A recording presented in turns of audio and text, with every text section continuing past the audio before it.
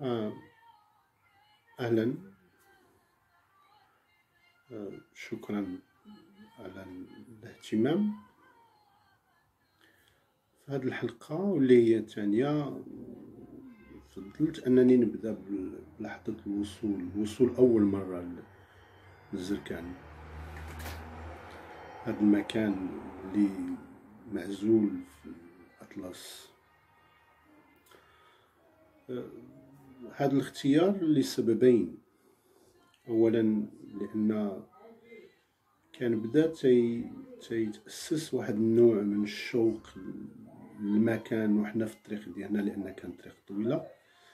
ثلاث أيام من من زاوية تاع من المكان اللي فيه القيادة من اثنين مع شي الوحده تقريبا ديال النهار.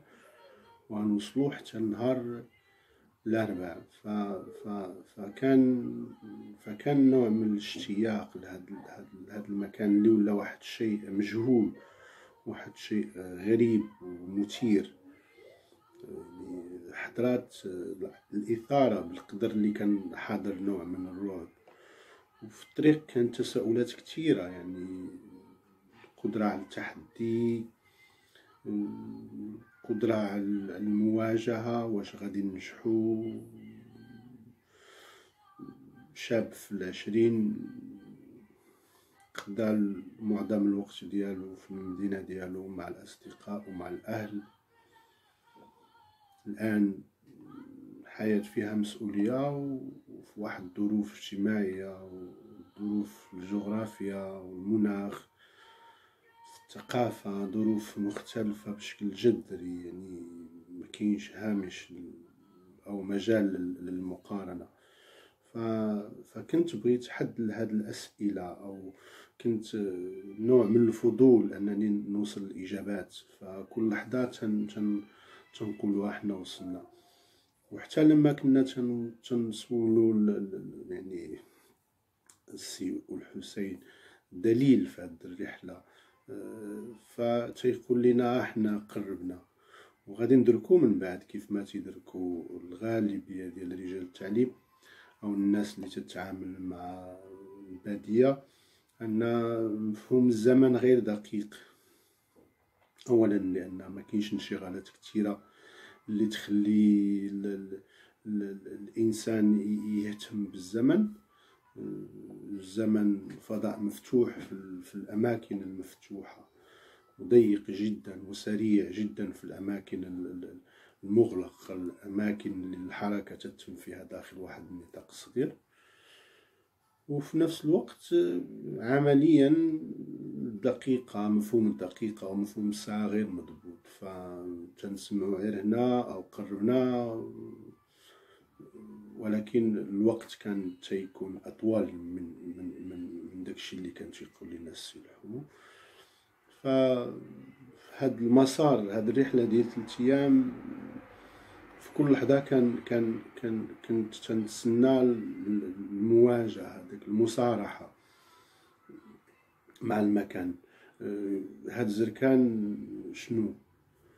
وفي نفس الوقت وهذا السبب الثاني هو أن في حالة الصراع عموما في حالة التغيرات اللي تتكون مفاجئة أو الحاجة اللي تتكون تتجيب واقع آخر في لحظة واحدة بحال لحظة الموت بنفسها. ف... فتيكون لحظة الحسم تتحسم هذا النوع الانشغالات بمعنى آه، كنا بغينا نوصلو باش باش نكونوا في المكان ونكونوا في الزمن ونكونوا أمام الواقع. آه، ما ما كانش ما كانش حاجة اللي ممكن تطمئنا في ذاك اللحظة من غير هو ان نوصلوا كيف ما تيقولوا المغاربة. الآن حنا في الزكان اللي عطا الله عطاه. دونك خصنا نلقاو سبيل للحياة في هذا في هذا المكان. ف كنا وصلنا بنهار الأربع وكان يوم ديال السوق ديال الدوار. بان أكيد من واحد المسافة بعيدة وباقي الآن تنصور داك اللحظه اللي شفت الدوار. ف إلا كاين شي تشبيه اللي تيستحضرني أو اللي تنستحضرو في هاد اللحظه فهو فيلم الرسالة. اللحظة ديال ديال ديال ديال ديال فتح مكة. والكعبه و داك الشعاب مكة و ديك الحارة البسيطة تطرأ للناس من بعيد. فهذا هو الصورة اللي اللي تتخلد لي في بالي. هو رحلتي بنفسها كان نوع من من الهجرة ونوع من الفتح فتح واحد الأفق جديد. للحياة. نقلة من من من من من, من إنسان تيعيش وكلشي تيتوفر. له الإنسان غيتحمل المسؤولية. نقدروا نمشيو الإشكال اللي تيخلقوا مفهوم العمل أو تجربة العمل فلسفيا في, الحياة الإنسان.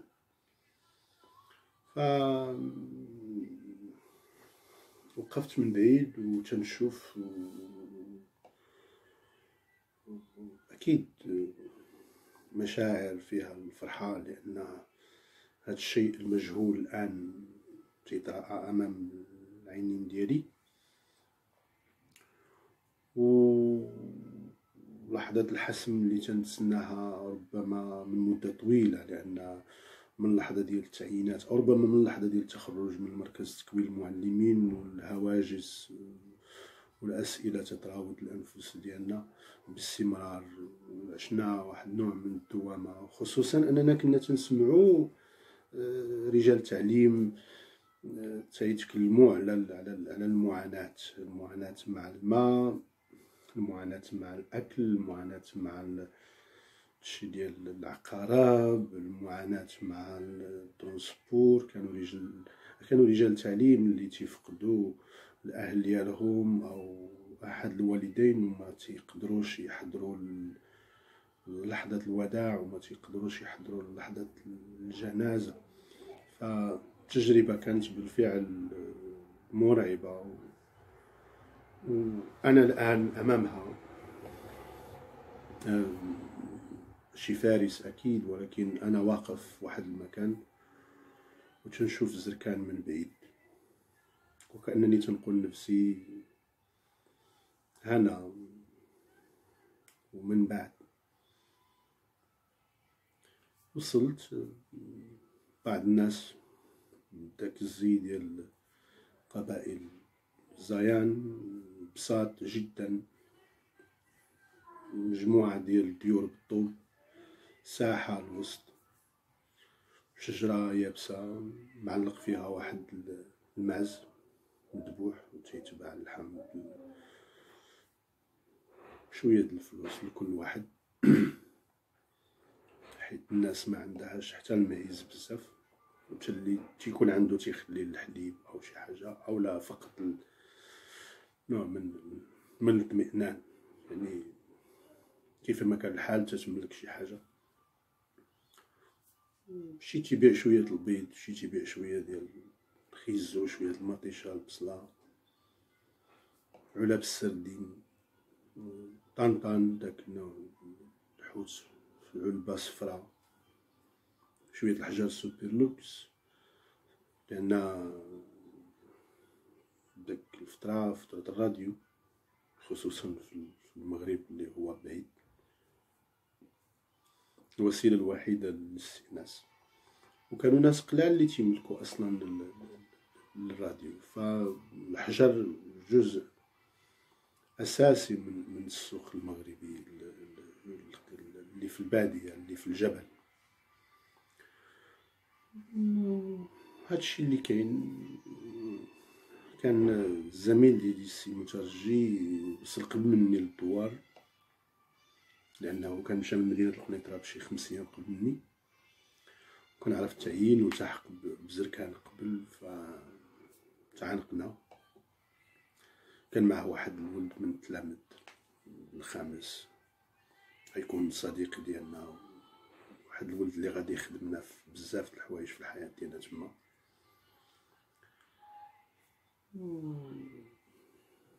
منزل وظيفي رهيب وكان للأسف تبنى غير بشي سنتين قبل وقالوا لنا بأنه راب مجرد مسألة البني ديالو. جوج القاعات.